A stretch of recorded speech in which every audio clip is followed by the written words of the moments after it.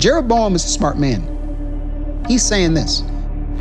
Listen, now, they already got the golden image thing going up in Dan, but we got the altar of God in Beit El. Jacob, back to the time of Jacob. So why don't we take one of these uh, golden calves and let's just cover over this place with another religion, literally. Shalom, Torah fans. Give this video a thumbs up and share it with a friend. Tap the subscription button and the bell icon, and I promise to update weekly with in depth biblical research. Be sure to download the new michaelrood.tv app for both mobile and home devices for even more commercial free content.